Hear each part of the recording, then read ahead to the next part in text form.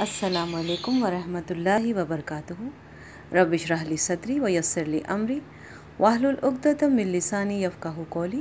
حدیث شریف پڑھتے ہیں۔ اعوذ باللہ من الشیطان الرجیم۔ بسم اللہ الرحمن الرحیم۔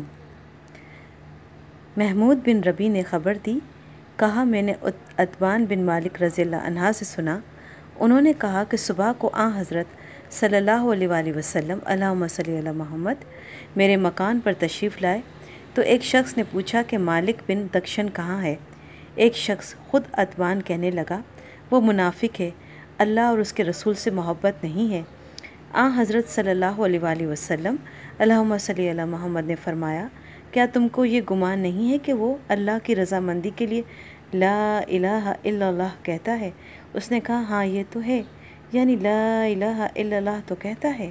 آپ نے فرمایا، بس جو کوئی قیامت کے دن لا الہ الا اللہ کو لے کر آئے گا، اللہ اس پر دوزخ حرام کر دے گا۔ اللہم صلی علی محمد وعلی علیہ وسلم۔